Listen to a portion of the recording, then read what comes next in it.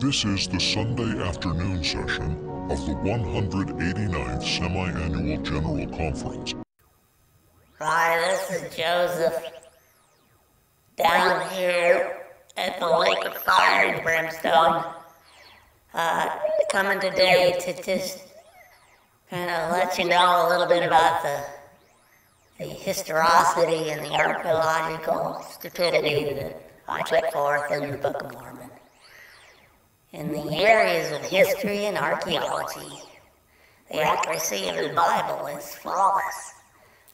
So flawless, in fact, that for years researchers of the ancient Middle East used it as a standard. Its record of cities, mountains, rivers, seas, and other locations is completely accurate.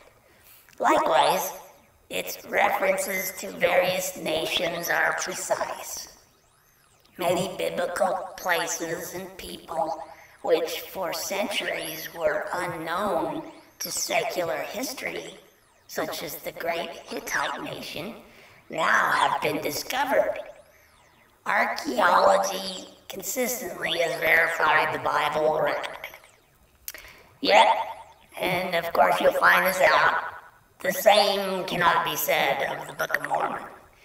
It records people and places that never have been authenticated. In fact, when questioned about its, its historical and archaeological reliability, major research institutions such as the Smithsonian have stated that it has none. Okay? So there's, there's, they can't verify anything that I wrote in that book. Boy, I was a smart cookie, wasn't I? The Book of Mormon contains numerous references to unverifiable people and places. For example, the following groups of people are unverifiable. Oops.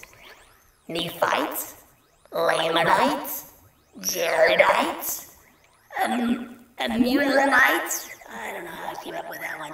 Zoromites. I kind of like that one though. Milkites, Milicites. I think Milicites. Yeah, that's it. The following places likewise are unverifiable, like Shazer, Jershon, Jashon, Elam, Heshlon, Manti, Madoni. Oh, and I had a few more in there too. All of these names apparently are fabricated. Yeah. And hence, they're unknown to history and archaeology. How could the many great cities and vast numbers of people portrayed in the Book of Mormon have gone completely undetected during millennia of research? Well, here's the simple fact. The fact is, such people and places cannot be documented to have ever existed. A problem with which modern day Mormons have struggled, and one that they have attempted to solve in a variety of ways.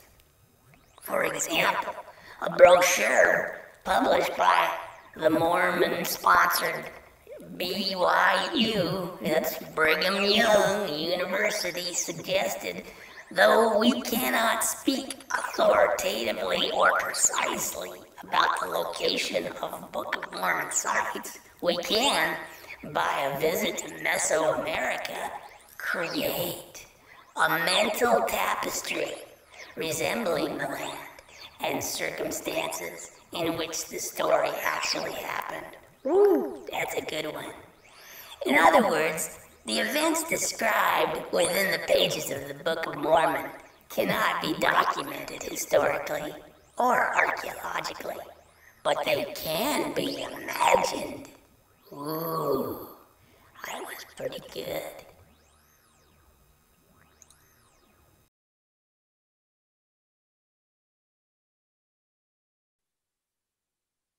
And we are his people. Amen. in jeder Stunde, an jedem Tag, nur zu denken an Deutschland, an Volk und an Reich, an unsere deutsche Nation. Unser deutsches Volk siegt!